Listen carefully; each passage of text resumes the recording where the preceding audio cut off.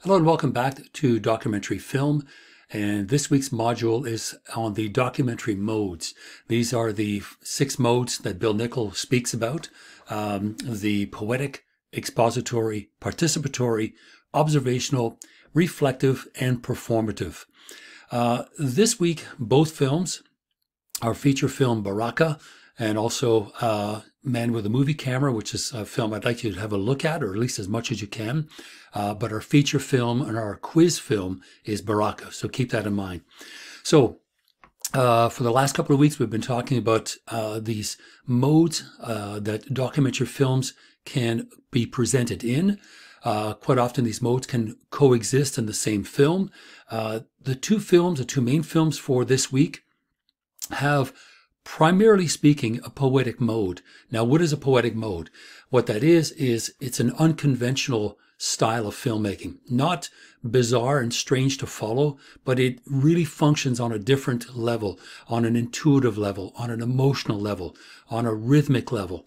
It's less concerned with telling a clear story with a clear uh, narrative, a beginning, middle, and an end, for example, but is more concerned with kind of a non-narrative, non-linear experience.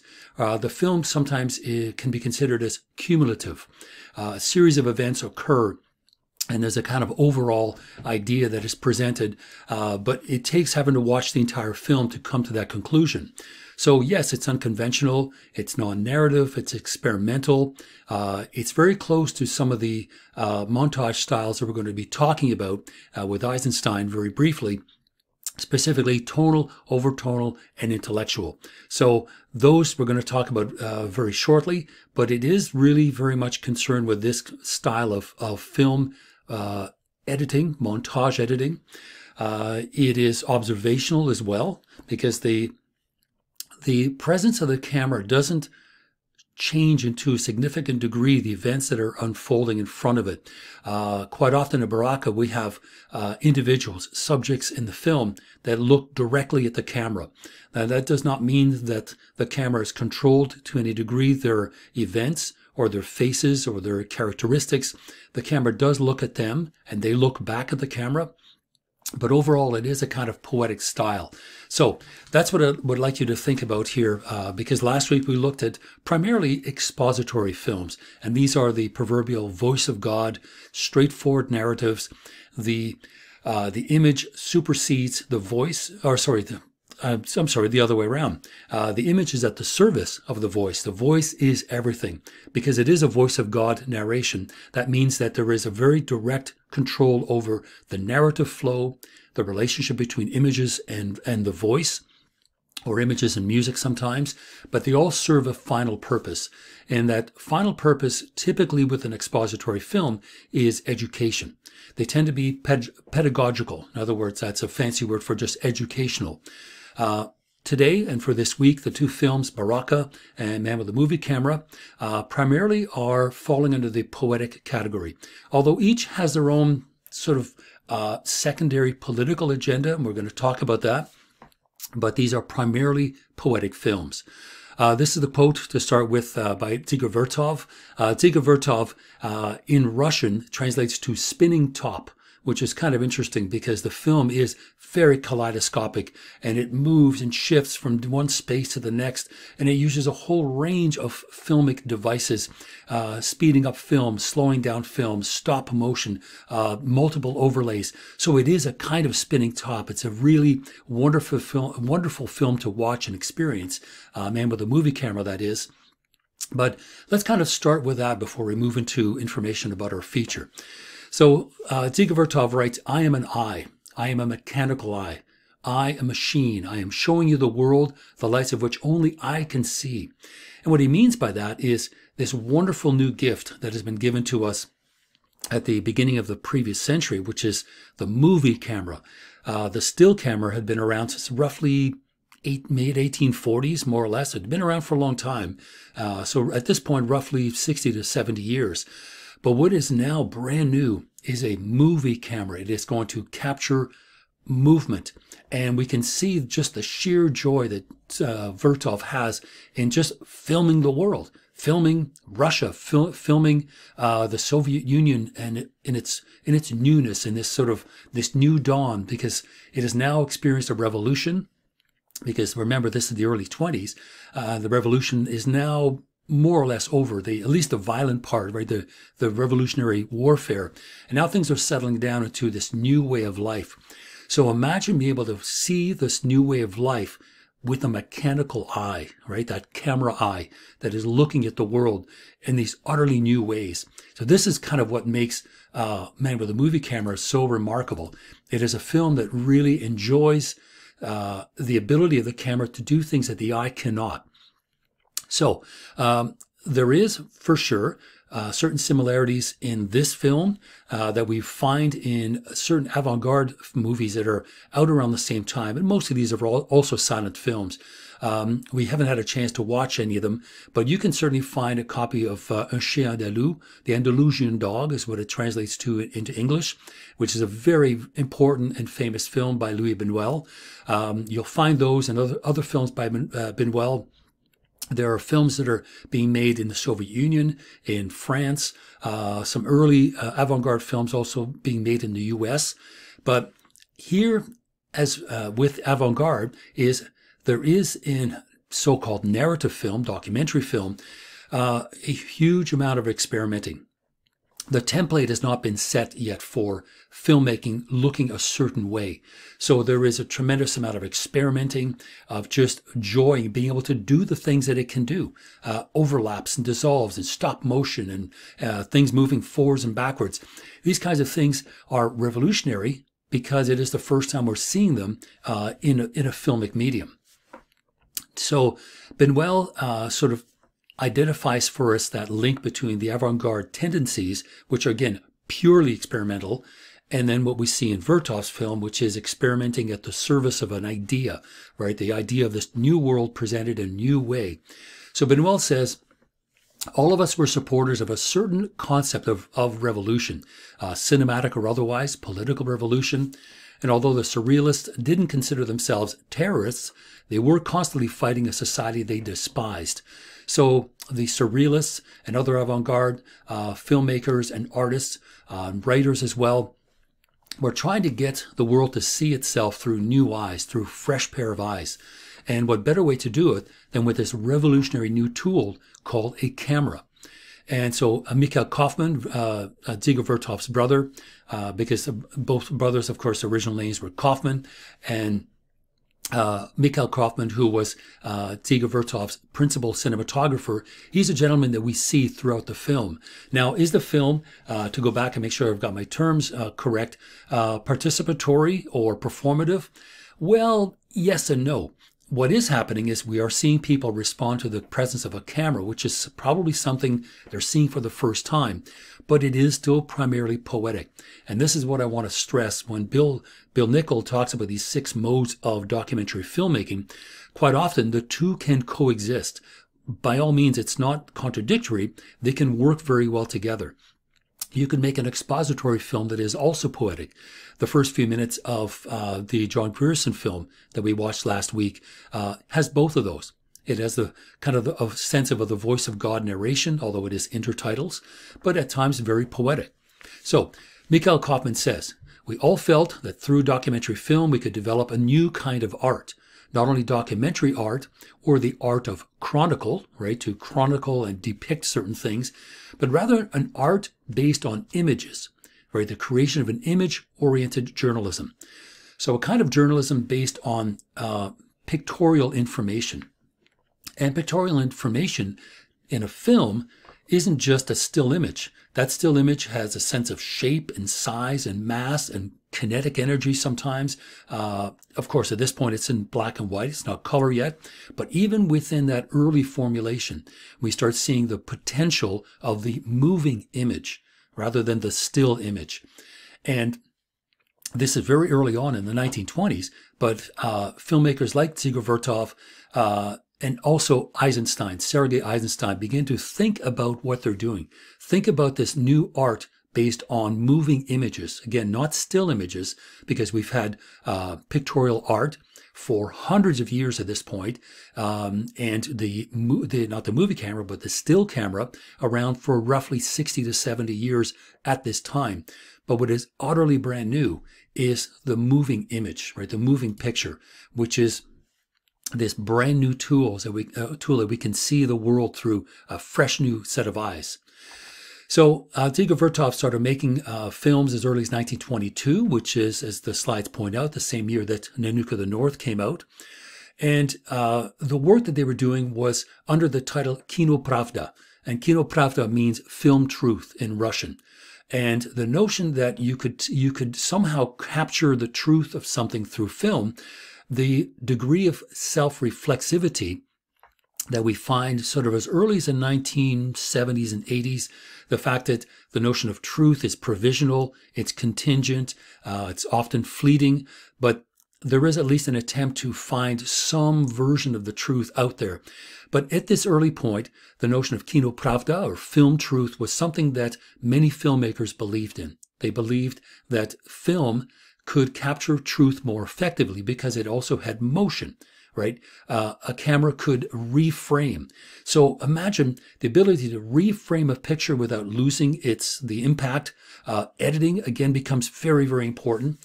And so these are all the kinds of ideas that are happening this early, uh, and especially in Russia.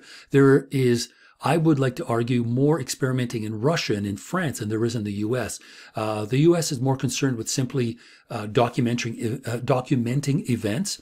Uh, the the Hollywood film industry, or at least the film industry, is already beginning in earnest at this point because um, Birth of a Nation and other films are already already out.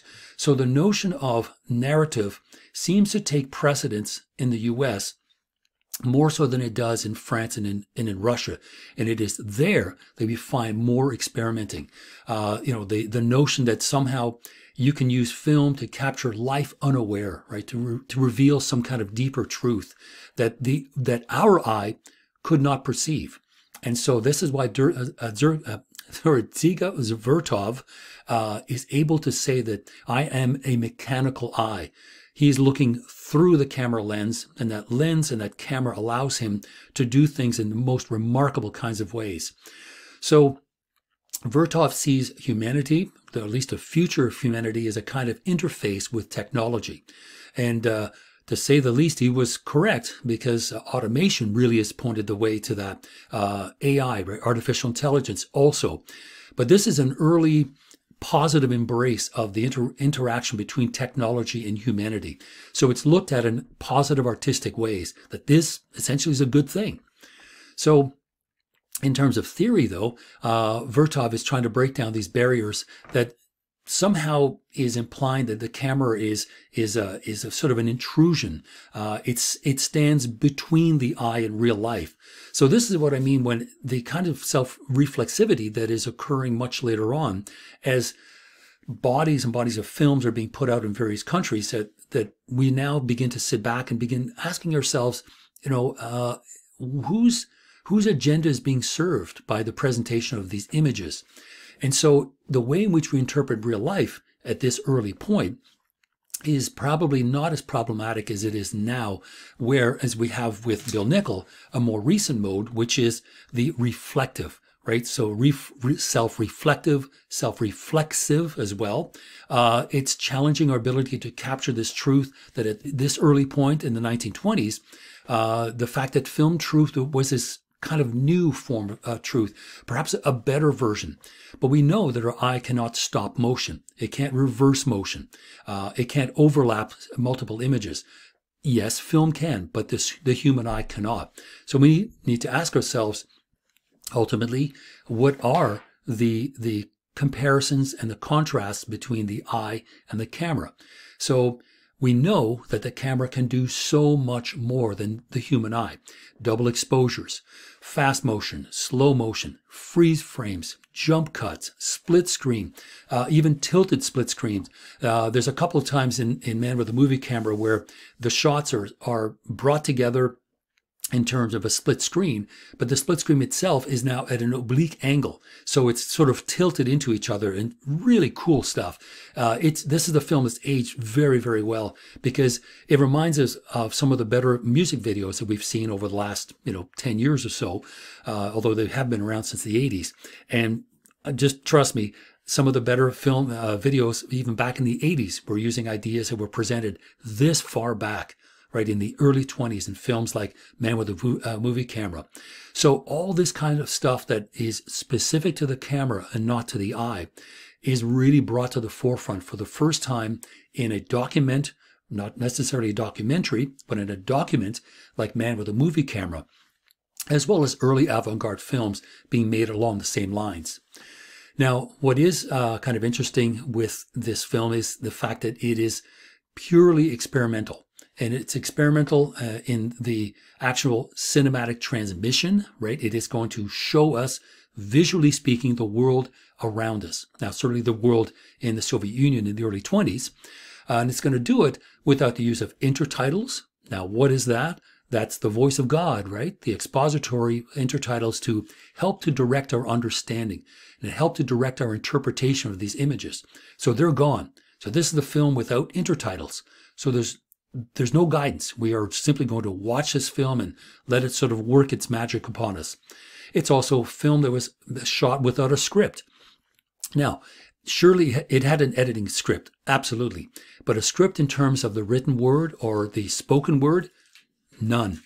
So there is no uh, no sense of a narrative being presented other than sort of a, a cumulative visual narrative.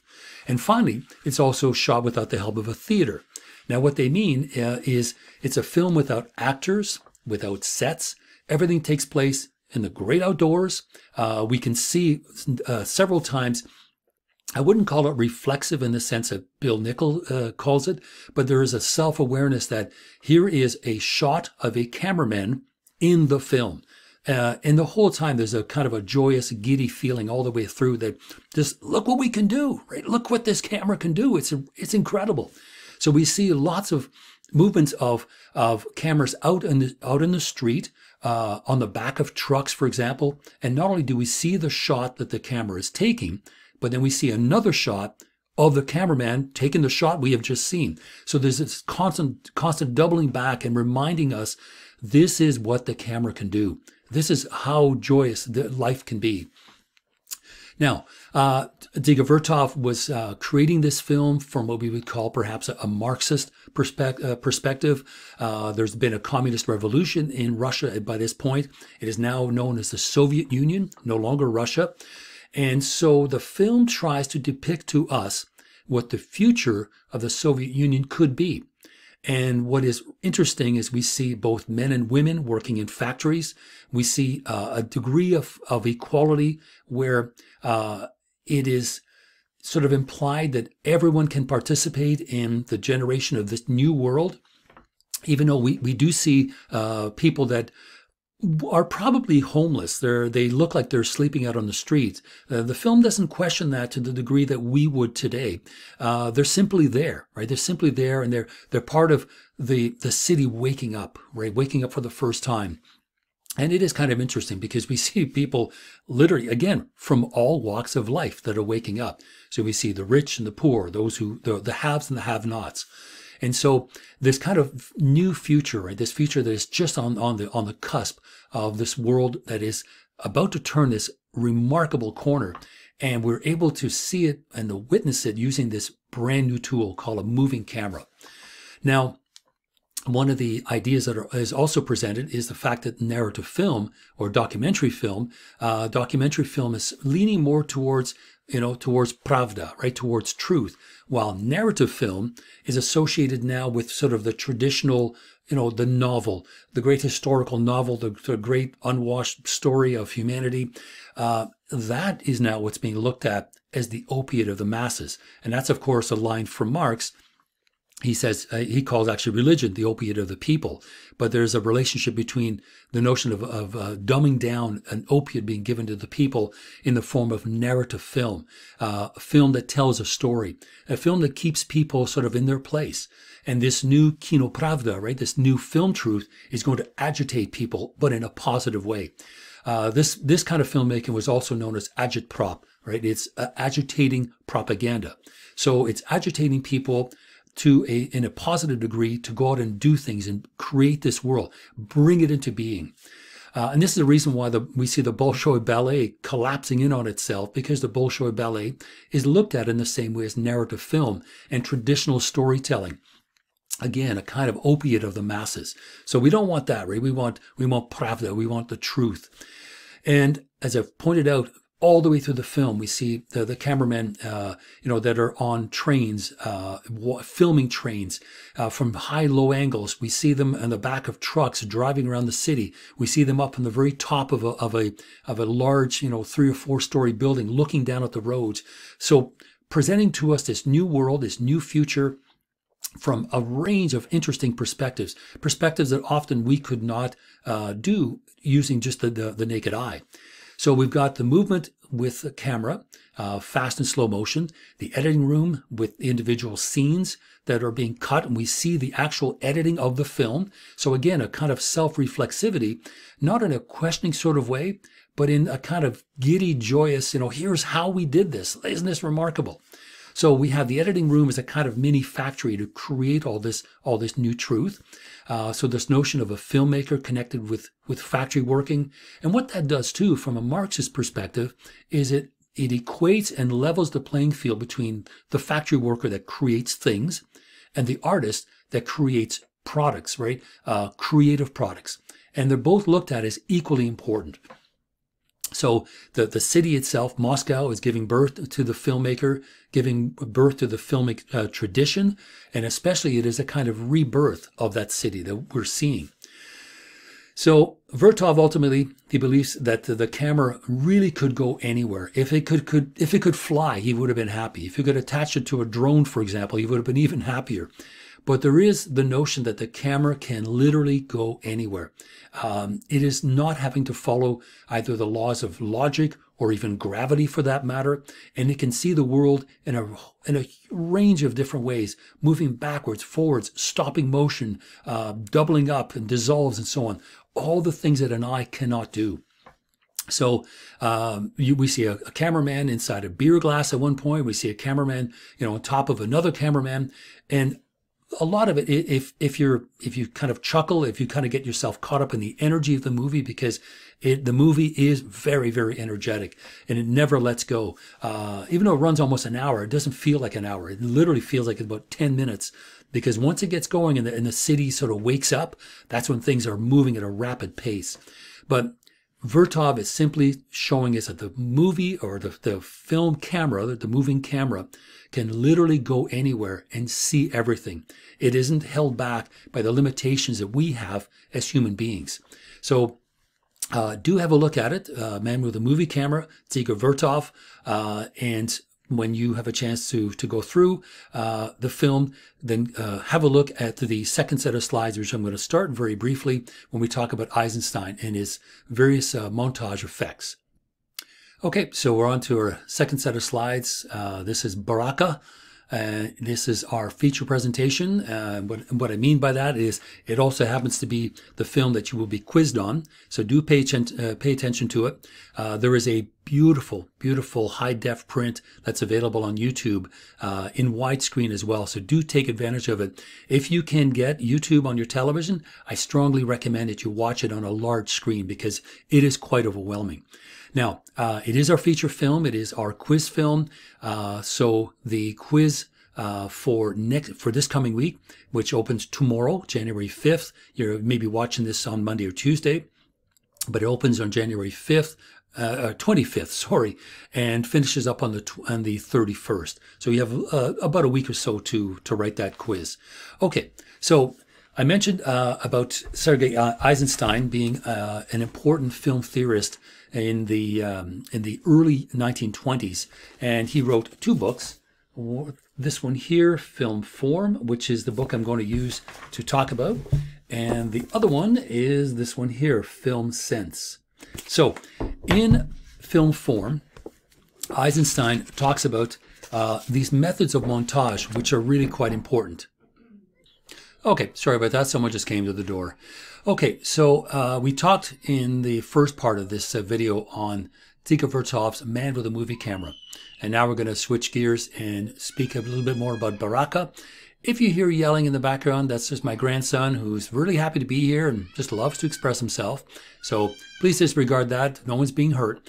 So uh, Eisenstein, uh, writing in the, in the, early 1920s, uh, became very concerned with not only the fact that a movie camera could capture moving images, which is clearly what it does, uh, and what Dziga Vertov was doing with the camera, which is uh, stop motion, uh, speeding up, slowing down, reversing fi- film, dissolves, and so on. Eisenstein took it much further and began to think about the art of editing.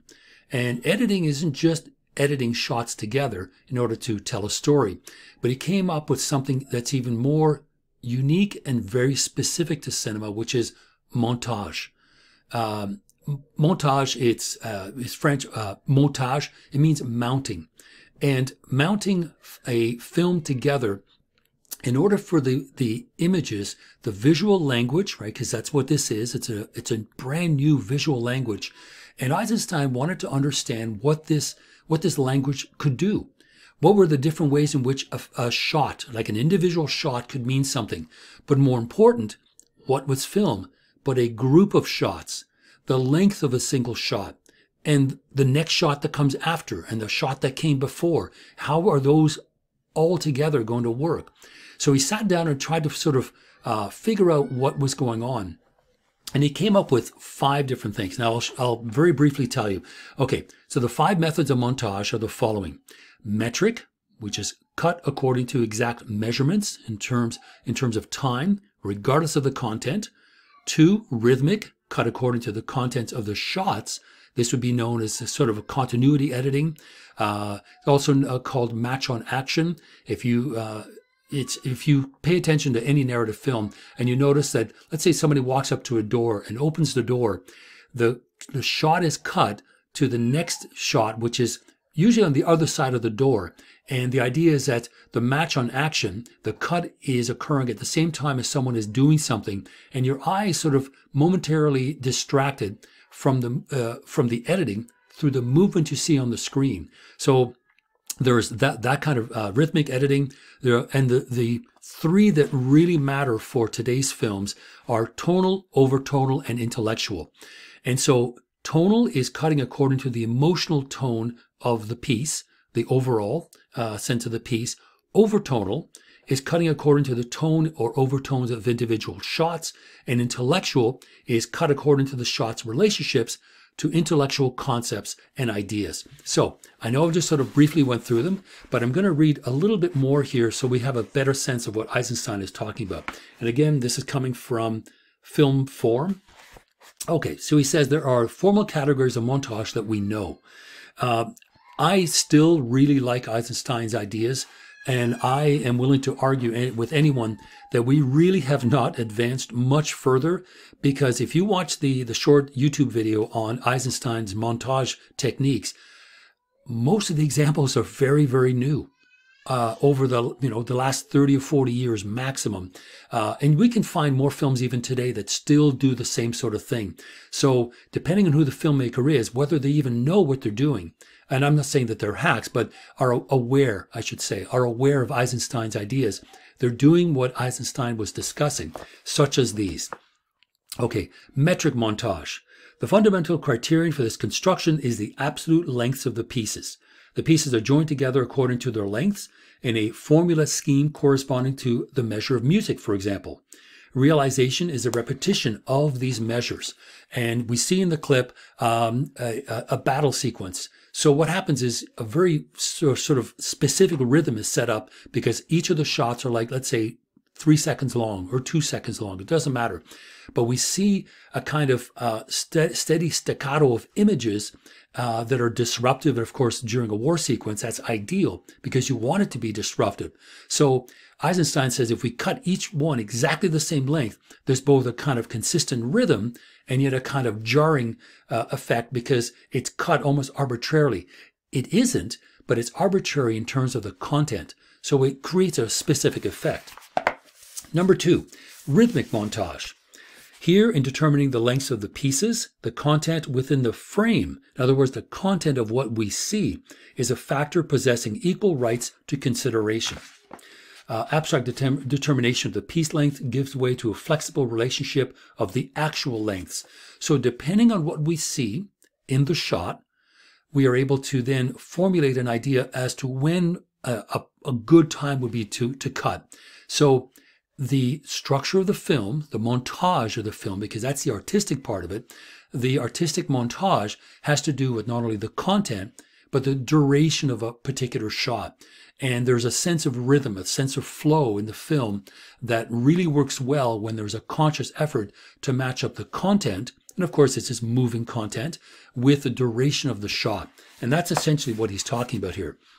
Now, these three, the next three, tonal, overtonal, and intellectual, really matter with the films that we're seeing today, with Baraka and the man with a, with a movie camera. So, tonal montage. And he says right here in the book, this term is employed for the first time. It expresses a stage beyond rhythmic montage. So this is where Eisenstein's genius really comes in. He realizes that the order of, of shots in the plural really has a lot to do with the emotional and intellectual impact. And of course, these are pedagogical films because they try to educate the public, some of whom may not know, you know, how to read very well, but are being entertained with these stories that are also trying to, to educate and have some pedagogical feeling to them. So he goes back to tonal montage. It expresses the stage beyond rhythmic montage. In rhythmic montage, it is movement within the frame that impel the montage movement from frame to frame, in other words, from shot to shot. Such movements within the frame may be of objects in motion or the spectator's eye directed along the line of some immobile, obje- uh, immobile object. So this is, um, again, what would be a shot counter shot, for example, a discussion or a conversation between two people. We see one uh, uh, character sort of slightly off left and they're talking to someone else and the reverse shot, they're slightly off right. And we know that it's a conversation between these two people who are looking at each other. You could also have a shot of someone looking at something. And then there is a, there's a, a you know, uh, a plate of food on a table. And so we see the person looking, and then we see the thing seen by the person looking. That's that's part of what's going on here, but there's something more going on. In tonal montage, movement is perceived in a wider sense. The concept of movement embraces all affects of the montage piece. Here, montage is based on the characteristic emotional sound of the piece, of its dominant, the general tone of the piece. And so what's happening here now is there is an awareness of a kind of uh, sort of combination of shots together and how they will now move something to a higher level so that we have, let's say, two or three shots together and we have a certain feeling. And this is not just an emotional feeling, you know, here we want you to cry, but there is, there's something else that is going on in terms of what he says, the, the affect of the montage. Uh, rapid montage uh, will obviously agitate people, will excite people. Something that is much slower and more stately is going to put people into a different point, uh, you know, different viewpoint. But all of these are affects of the montage. They are going to affect the viewer in some way uh, to speed up the heart rate or slow it down. Uh, these things are very important to Eisenstein because they are now a way to, well, we'd like to say persuade the emotions of the viewer. Um, other people that aren't big fans of this will say, you know, manipulate or coerce. But I think here the the construction of the montage through various length shots or exactly the same if it is simply metric um, has a lot to do with the way in which the film will impact the viewer.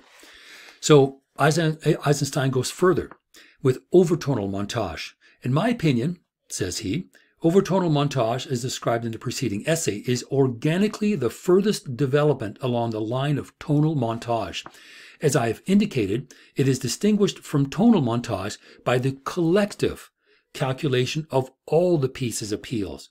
So now it's thinking of the entire It could be the entire sequence that is considered as a whole.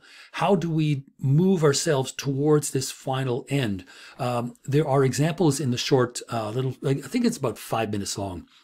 And it, uh, do have a look at it because, uh, again, there's not a test on this, but it is a really interesting way for you to learn the vocabulary of film language to say oh yeah this would be tonal overtonal. This is rhythmic. Um, you know this is metric. Uh, these things are important because it's a good way to be able to express ideas about film in the correct language. Uh, because any film student i mean we had to learn all this stuff as film students at concordia back in the 80s when i learned it. Uh, but what became really useful was when two film students or discussing an idea with a professor, and you could use, you know, overtonal montage. Everyone knew what you meant, and then you could further discussion further. Um, okay, so this characteristic steps up the impression from a melodically emotional coloring to a directly physiological perception. This too represents a level related to the previous levels. These four categories are methods of the montage. They become montage constructions proper when they enter into relations of conflict with each other, eh, with each other, as in the example cited. And he gives a series of examples. But this is quite remarkable because even as early as the 1920s, Eisenstein and other thinkers were very clear as to what the potential of film, moving images, could do, not just the capturing of, of image, of an image or a single shot, but more importantly, the editing, the montage, the piecing together, the mounting of this idea in visual terms. This became very important. So, uh, finally, intellectual montage. Intellectual montage is montage not of generally physiological overtonal sounds, but of sounds and overtones of an intellectual sort. Conflict ju- juxtaposition of an accompanying intellectual effects. The gradational quality is here determined by the fact that there is no difference in principle between the motion of a man rocking the, the, under the influence of elementary metric montage, see above, and the influence, uh, the intellectual process within it. For the intellectual process is the same agitation, both in the dominion of the higher nerve centers. Okay, so that's kind of fancy language. I apologize. But what Eisenstein is saying to us is that the film has a message. It has an intellectual point of view that it wishes to present to us. For example, with Dziga Vertov's Man with a Movie Camera, it is this radical new way of seeing a radical new world. So the way in which this world is brand new, right? It's just starting out. It's it's it's depicted to us in these radically new ways. So it marries up an intellectual idea with a political idea.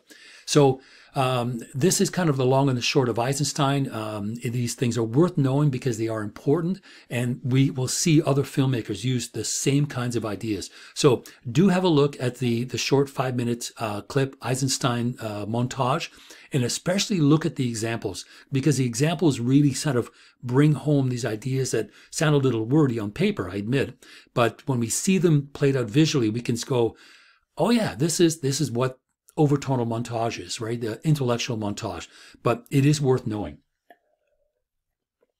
Okay, so uh, Baraka. So let's go, go on to Baraka and talk a little bit more about uh, that. Okay, we just spoke about Man with movie camera, but now let's move on to our feature.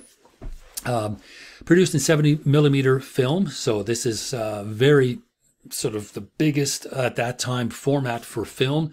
Uh, huge gradation of colors and textures. Uh, it was shot in 152 different locations in 24 different countries, so truly a global film.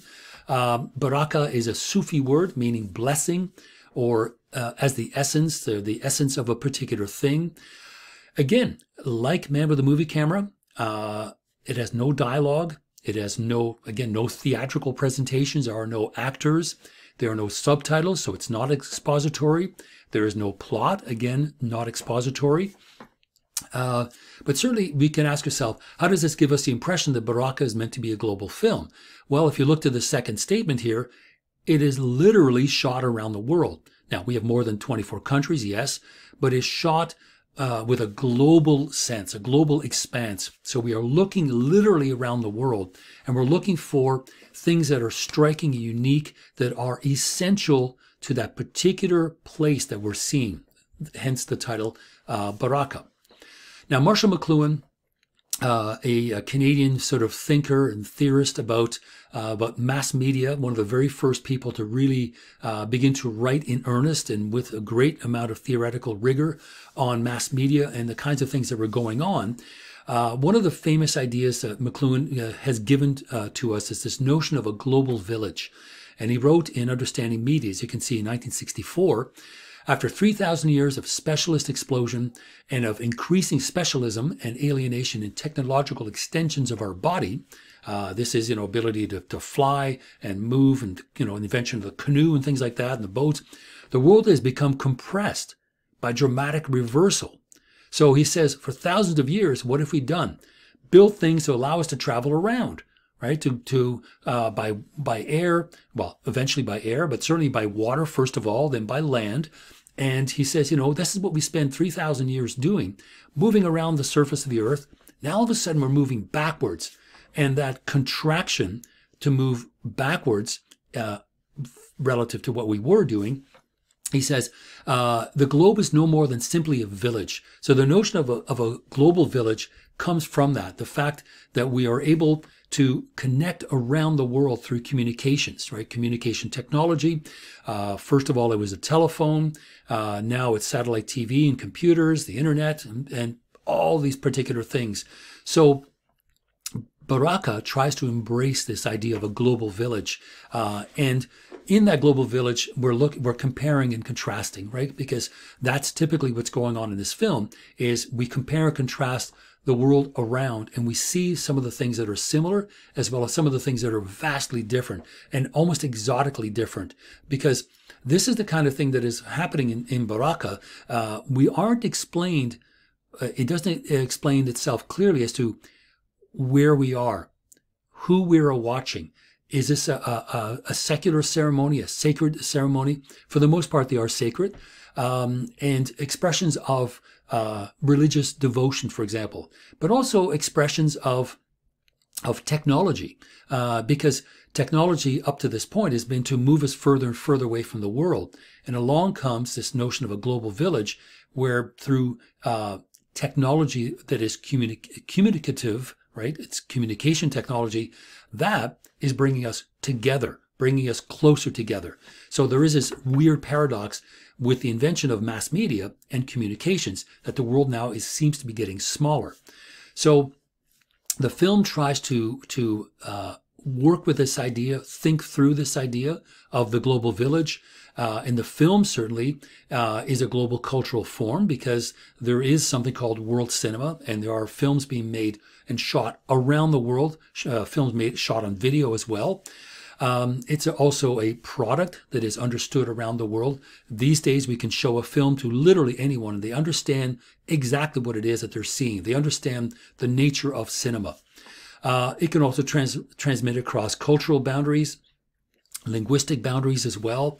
Uh, it does talk about ideologies that are specific to a particular country, uh, mythologies that are also specific to the country, and also that are um, universal.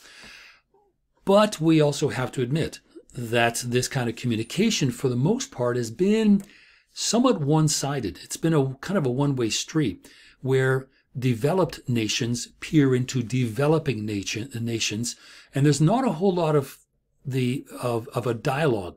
It is more sort of a one-way street or a one-way communication, which is with the advent of video, the advent of cell phones, for example, rapidly changing. So this is not something that, certainly at the time that McLuhan was writing in the early 60s, it was a kind of one way street. Uh, it was discussing many things that were simply our view of the world. And we were not asking a whole lot of questions back then. So, does that sound kind of familiar? Keep that thought in mind as we work through this material. So, Baraka is certainly um, embracing the notion of a global village by comparing and contrasting the world around us. It's a, an example of a transmission being becoming so, more or less equal. Uh, technology is advancing to the point where it is kind of leveling the playing field, we can say.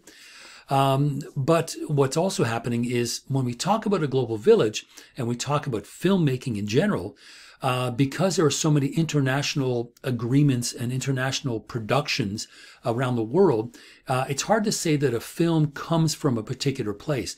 A film could be or could appear to be uh, an American movie, an American Hollywood movie, typical thing, and yet it's made with Japanese money or with West German, uh, West German, with German money. There is no more West Germany. Um, it could be done using international money. And so the country of origin for a lot of films is come somewhat problematic. And then also you can say, well, look, in Hollywood, you could have as many, uh, you know, actors from Australia as Canada, as, as from the US, because we know quite a few uh, Australian Canadian actors have done very well in Hollywood and continue to work and still work today. So the notion of a film or the film's you know country of origin kind of problematic. So we're, we're actually closer to something like a transnational cinema because it is it is something that is simply uh, the way that business is being done these days. Uh, simply, well, be, partly because films cost so much money, and and money needs to be raised internationally. Uh, so the notion of a film's country of origin is is kind of problematic. It doesn't mean it's it's a necessarily a bad thing, but we need to be clear that films are not necessarily American, you know, or French or German or British. Uh, the money that's used to create them can come from uh, anywhere in the world. So Bill Nichols, to get back to uh, Nichols' uh, idea, he also thinks that films can be broken down, like documentary films, uh, in three sort of main categories here. Uh, historiographic, these are political documentaries. Um, you could, in a kind of sort of haphazard way, say that Man with a Movie Camera may fall under that because it does have a Marxist agenda. You know, this new world that is based on communist principles of equality, uh, workers' own means of production, and all the rest of it. So it's it's historiographic in that it is a, a political document. Its political agenda isn't so absolutely explicit in the message, but when we stop to think about it, we can we can fathom it out pretty quickly. Uh, ethnographic films uh, these are uh, typically films that document societies that are that are threatened by global modernity. We could say that Nanook of the North is a, an ethnographic film if it was documenting a society that was rapidly, uh, you know, evolving into a more modern way of life, uh, using you know guns rather than harpoons, for example. So that film is ethnographic. And finally, we have ecological films, and these are nature documentaries that we find on, you know, IMAX theaters, if those things are even still around. But you can find those on Netflix. Um, nature documentaries, beautifully shot, high-speed film, crisp, crisp images, um, the the brightest kinds of colors. They're almost sort of designed to to showcase the camera. You know, look at what the camera can do. Uh, much like the the Dziga Vertov film, right? This is a mechanical eye, not a human eye. So we are going to consider these things, these three sort of forms, uh, the categories of the documentary film as we watch Baraka, because um, Baraka is partly ethnographic. Uh, it is partly historiographic because it does have an agenda, but it's certainly ecological as well. So again, these are, are not sort of uh, a neat fit. Uh, so we could say that certainly Baraka fits in any one of these, but also sort of transcends all three of them. Um, and it could also be, you know, in terms of the music. The music has a lot to do with setting the the the tone, uh, that very mystical tone, exotic tone uh, of the film, and the, really the music and the imagery work very well together.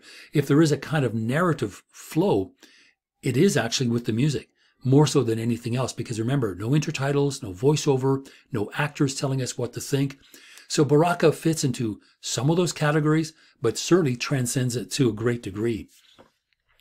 So, are there parallels to Nanook of the North? Well, I've just mentioned them. Uh, this idea of looking in on a culture that is possibly threatened by technology and, and uh, modernity. Um, there's a film Celebrate uh, something.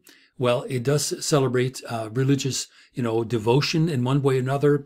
Um, it celebrates just the absolute ravishing beauty of nature, but also hidden within that message is the encroachment of technology, the encroachment of individuals, of Western of Western ways, and Western technology that is disseminating that world, um, or sorry, not disseminating, but decimating that world very quickly. So could we ask ourselves, is there an, an overall message? Is there through intellectual montage, right, or that overtonal montage that Eisenstein speaks of, is there a message? Well, yeah, we can we can say that there are messages. There are several of them. Um, there are sort of smaller societies that are sort of organic and harmonious and are held together through uh, often religious ceremonies. There is also this absolutely breathtaking, awe-inspiring view of nature, and usually the more awe-inspiring, the better. Uh, we see a lot of you know speeded up movement of clouds and and water. We fl- we fly over waterfalls. I mean, these are things we cannot do, right? The human eye cannot do that, but certainly a camera can. Uh, there's also the notion of humanity interacting with technology, interacting with modernity. And I think the political agenda, the kind of intellectual montage that is happening uh, as the shots are considered together as a whole, is certainly the notion of human destruction, uh, a, a, sense of genocide. And the way in which these sequences are strung together, both individually and collectively, the entire sort of sense of collage, uh, the overall kind of overtonal or intellectual themes that are coming through are the ones that we can see here. Uh, the human, the interaction of humans with modernity and technology, the destructive nature of that interaction that leads often to genocide. Uh, but we see sort of the hope in these smaller, organic, harmonious communities that are that are held together and still believe in that religious ceremony that is very important to see. Now, do we can we make the argument that we are essentially barbaric, right? That we just are simply hurting the the planet, destroying it without even caring? Well, the fact that this, the fact, excuse me, the fact that this movie exists is telling us that no, we don't think this way. Uh, we are trying to save the planet, and certainly any environmentalist would embrace this movie and the message that this movie has, which is that we live on this sacred planet. This planet is sacred. That is the baraka. That is the essence of, of, of the earth. It is sacred and it should be respected. And if we don't, um, then we are going to destroy the only the, the only vessel that we have. There are no other planets we can move to in the foreseeable future. And if we destroy this one, we destroy ourselves. And are we barbaric in terms of technology and business and capitalism? Absolutely. In terms of humanity, I think there are many human beings that are absolutely against this idea because you know what? We're the ones who need to live there. Uh, capitalists, yeah, they do too as well, but they seem to be less concerned. They're more concerned that, you know, by the time this is beyond uh, repair, I'm long gone, which is a horrible way to look at things. So, humanity, although we are living in this modern world, uh, Baraka, I think, reminds us that we are living part of the, in this global organism, this harmonious, organic, uh, you know, uh, globe that is really Gaia. This is this idea that is presented to us that we are on this vessel together and we need to respect the earth. We need to respect the essence of the earth and celebrate in some way. Now, some ideas that have been brought uh, um, towards uh, Baraka negative, uh, we'll say, is this idea of the film exhibiting a kind of imperialistic uh, nostalgia. You know, it's looking back on the things that that imperialism has utterly destroyed because without imperialism, there would not be the encroachment of modernity and technology. So it's looking back and uh, with a certain degree of guilt, uh, looking at the things that we have done. We're mourning the passing of something that we have destroyed. So we need to remember that. So there is the guilt, right, of developed nations being uh, colonial powers. Right? It's it's us. It's us who have done it. It's the it's the West. It is the Occidental world not the Oriental world that has destroyed itself. We have done it. And so that's why we see sweatshops, shanty towns, you know, the degree of ho- homelessness and, and poverty. Uh, this is what we see when we look at uh, Baraka, that uh, it does display a kind of imperialistic nostalgia, uh, a, a kind of guilt trip. So it does show very clearly how the world is being destroyed by the first world, the developed nations, uh, economically, culturally, ecologically, and yet at the same time, it has a nostalgia for the you know what Jean-Jacques Rousseau used to call the noble savage, right? The noble noble savage that is uncorrupted by the very the very world that we represent, right? The natural world that came before, uh, through obviously the depictions of nature, tribal societies, harmonial uh, or harmonious organic societies that are still linked deeply to the earth, and of course pre-modern religions that we see all of this is part of that nostalgia of the very things that we unfortunately are the ones who have destroyed. So, the opening sequence in particular, I want you to, to pay attention to and have a look at uh, because it is really an excellent example of uh, a kind of poetic documentary.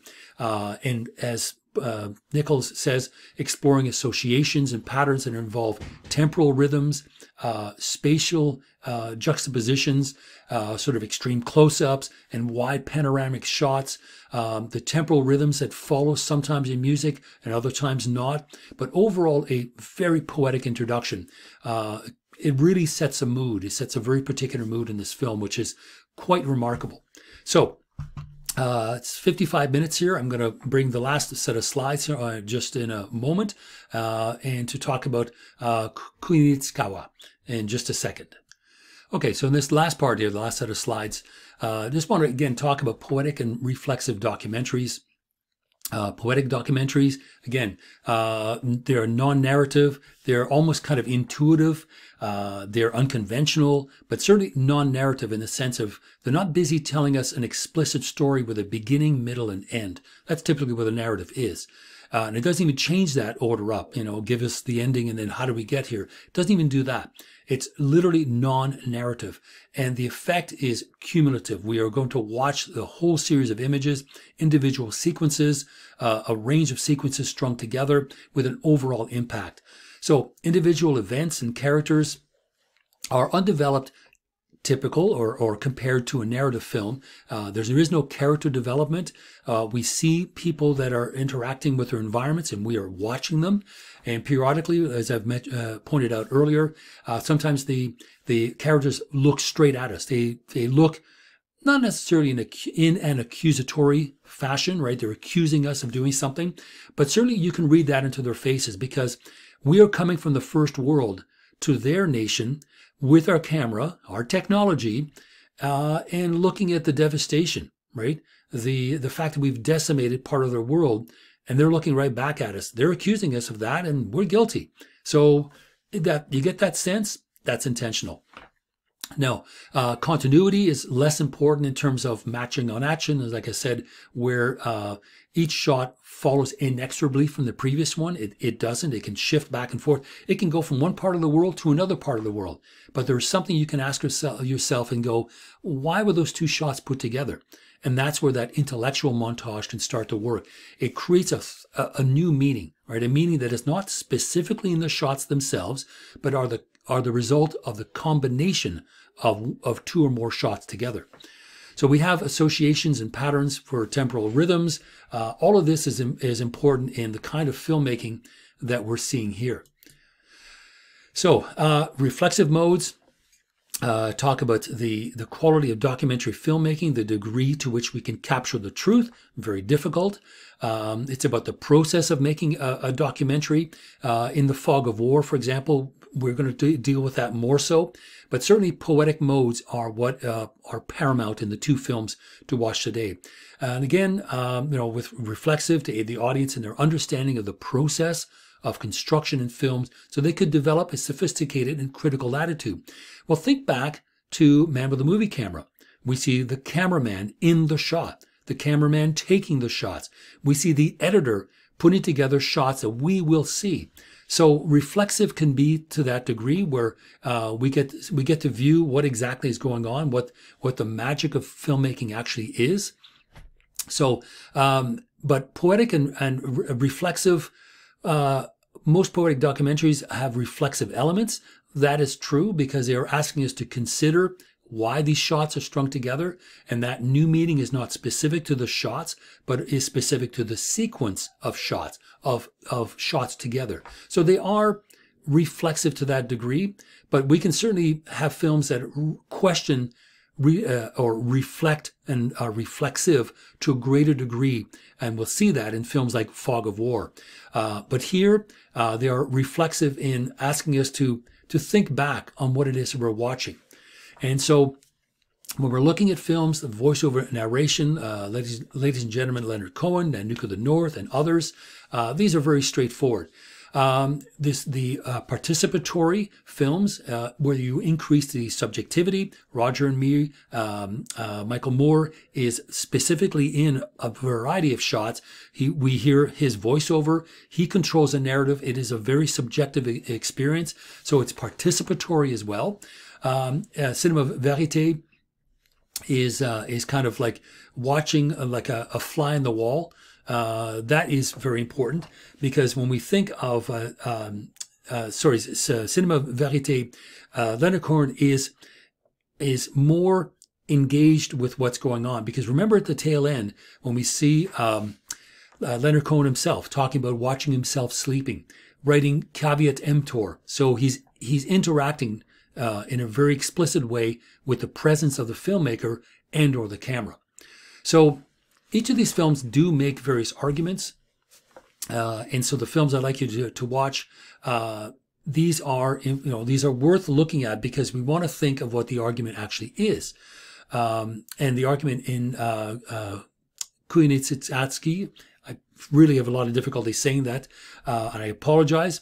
Uh, but in that film, there is also an argument. Uh, uh, Godfrey Reggio uh, talks about the massive destruction of the earth uh, in a similar way to, to Baraka, but more explicitly.